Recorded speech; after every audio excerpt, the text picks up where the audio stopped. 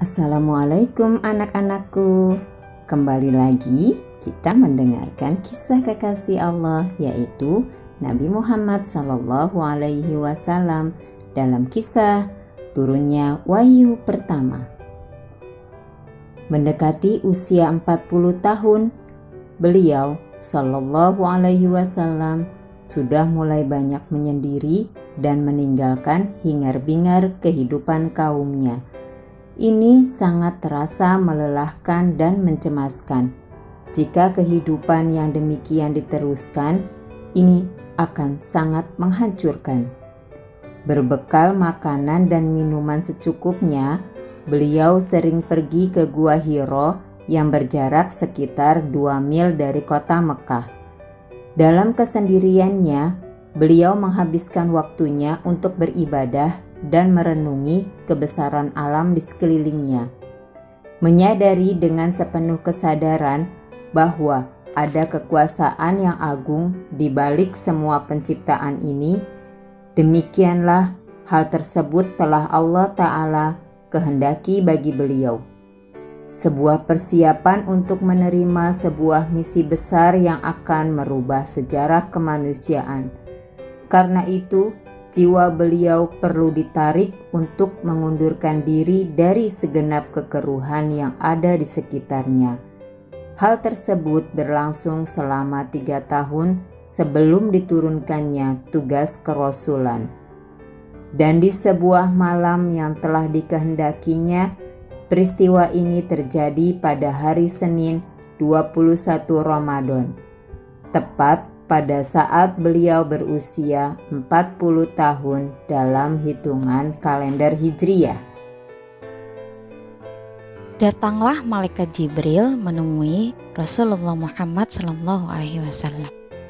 Jibril datang dengan tiba-tiba memeluk Nabi sebanyak tiga kali. Setiap kali memeluk, Jibril berkata, Iqra, bacalah Ma'ana biqari'in.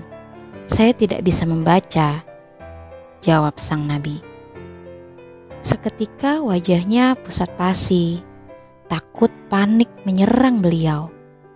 Setelah itu, Jibril membacakan surat Al-Alaq ayat 1 sampai 5. Iqra bismi rabbikal ladzi khalaq khalaqal insana min 'alaq iqra wa rabbukal akram alladzi 'allama bil qalam 'allamal insana ma lam ya'lam yang artinya bacalah dengan menyebut nama Tuhanmu yang menciptakan.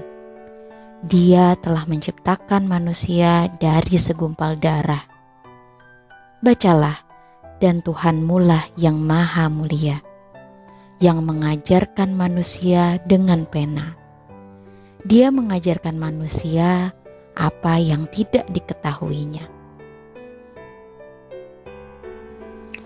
Sesudahnya, Jibril pergi meninggalkan beliau dalam ketakutan yang tak berkesudahan, dalam kecemasan yang tak terjelaskan Muhammad Shallallahu Alaihi Wasallam pulang kembali ke rumah dengan kondisi badan gemetar hebat. Kekhawatiran telah membuat tubuh dan jiwa beliau menggigil terguncang.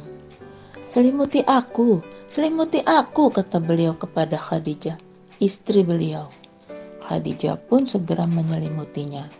Setelah tenang, beliau kemudian menceritakan apa yang telah terjadi kepadanya.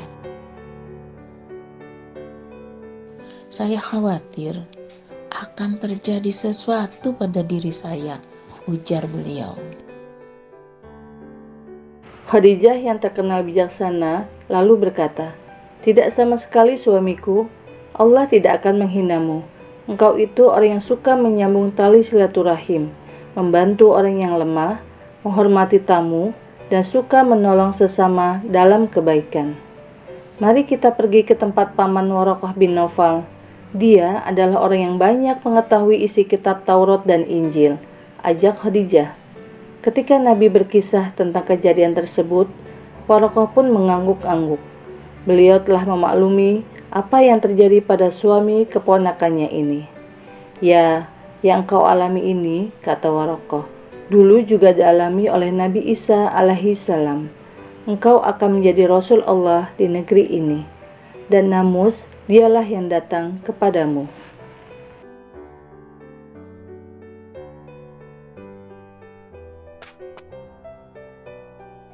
Kudusun, kudusun, malaikat yang membawa wahyu. Malaikat ini juga yang datang membawa wahyu pada Musa alaihi salam. Sungguh engkau adalah nabi akhir zaman ini. Lanjut Warakah, sembari terus mengangguk kepala. Namun, engkau mesti tabah. Ada apa, Paman? Mengapa mesti tabah? Tanya Nabi. Kalau sudah mendapatkan yang begini ini, engkau akan banyak menderita. Orang tidak akan menerima apa yang engkau katakan. Orang akan menolak apa yang engkau serukan. Engkau akan menderita. Engkau akan diusir dari negeri ini. Dan di masa itulah, kalau saya masih punya umur, maka saya akan membelamu. Ya, saya akan membelamu, Muhammad, kata Warakah. Namun sayangnya Warakah tak menemukan umur panjang. Beliau tak sempat melihat Muhammad Sallallahu Alaihi Wasallam menyampaikan seruannya, pun juga tak pernah menyaksikan Nabi terusir dari Mekah. Nah, begitulah kisahnya. Sekian kisah hari ini. Bagian mana yang paling kalian sukai? Sampai bertemu pada kisah selanjutnya ya. Wassalamualaikum.